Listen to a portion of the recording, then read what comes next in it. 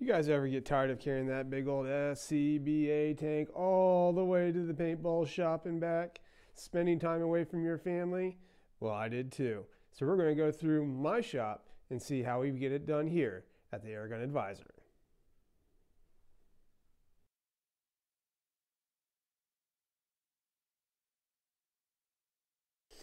Welcome back, fellow airgunners, to another edition of the Airgun Advisor.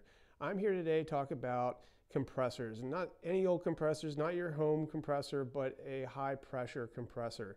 All right.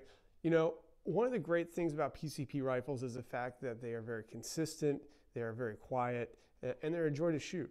But the bad side of these things is they take a lot of air, and not just any regular old air, but high pressure air. And you want to make sure that air is dry, so you're not having condensation build up within the, the gun itself.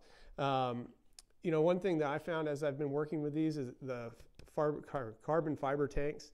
Um, you get a high shot count from. It can alleviate some of the issues.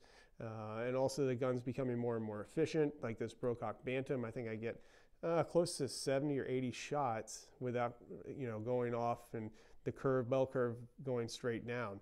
So I get a lot of output from this. But as I've been testing more rifles and doing more reviews of rifles, I was spending one and a half hours to two hours every week heading out to the paintball shop to get my tank filled. And that just was not going to be adequate, taking too much time away from my family and hanging out with my friends. And it just wasn't something I wanted to do. So I came up with a solution. And that solution was to find a shoebox compressor used and go ahead and install that in my shop. And that's what I did. But I was still leery of the water issue. So you know, really this video is not just about the shoebox compressor, but also how do you alleviate some of that water so you don't have it building up in your tank or in your gun. So without further ado, air gunners, let's go ahead and head out to my shop and I'll share with you my solution to this issue. All right, welcome to my shop.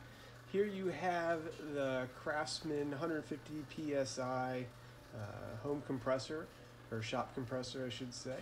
And then you'll notice behind it, and that you saw in that little call out up there, I have the compressor, off the head of the compressor, I have it running to an automobile AC condenser.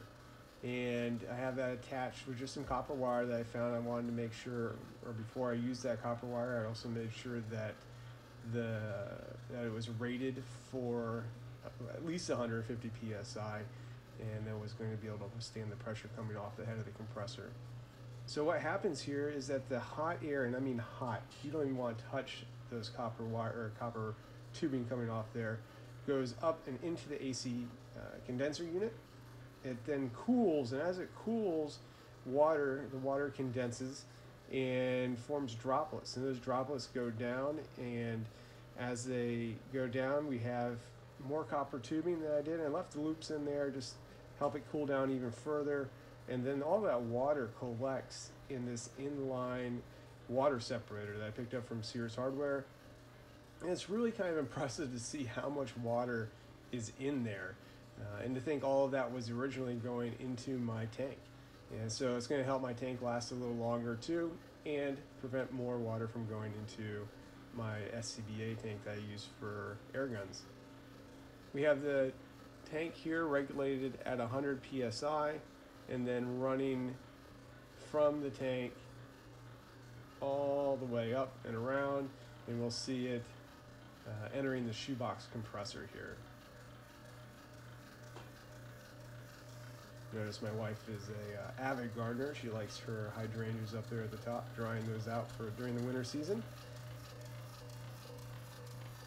And there it is, a shoebox compressor. I also added another inline water separator right before the shoebox compressor. I have yet to see any actual water droplets in there. Uh, haven't had to empty it at all, so I think that's just a little bit overkill, but it's there just in case. It'll be interesting to see how that uh, affects things during the summer months when it gets a little bit hotter, a little more humid, uh, and see if that changes anything. So, who knows? Time will tell.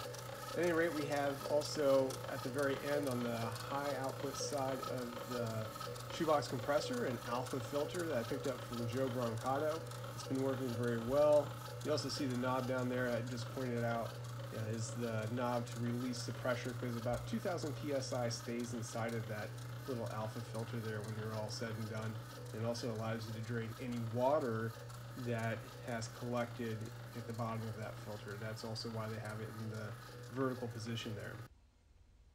So overall, I've been pretty pleased with this setup, um, and this is this right here is going to show you why. So, how much water is in the alpha filter after we're all said and done? Well, I decided to do a little cardboard test. As you know, cardboard shows water very well, and we're going to release some air pressure. Sorry, can't hold the camera and do it at the same time. Look at that. Very little, if any, water. Hey, welcome back, guys. Hey, I hope you enjoyed the tour of the shop. It's nothing fancy, I know, but at least you get an opportunity to see what I'm dealing with or working with here on the Airgun Advisor. I uh, want to send a quick shout out to Joe Brancato of airtanksforsale.com for helping me out with a 5% discount on that alpha filter. And it's a great little filter if that's what you're, uh, or if you're looking for something along those lines. Also, I want you guys to keep an eye out for a couple reviews I'll have coming up here uh, once the weather warms up. One will be with this Brocock Bantam that I picked up when the sale was going on just before or right after Thanksgiving. This one happened to come from Baker Air Guns. And then also a Marauder Field and Target. That is the uh, regulated version. Uh, both of these reviews will be of the 177 caliber. It happens to be a caliber that I shoot a lot. So keep an eye open for those. And until next time, May your pellets fly straight and your trigger pull stay smooth. And we'll see you right here next time for another edition of the Airgun Advisor. Hey, just a quick reminder, if you like these kind of videos, you want more content from the Airgun Advisor, or if you have any suggestions for us, make sure you leave those in the comments below. Also, before you leave, make sure you click that thumbs up button and you hit subscribe because that lets us know you like what you've seen. So thank you very much, and we'll see you next time right here on the Airgun Advisor.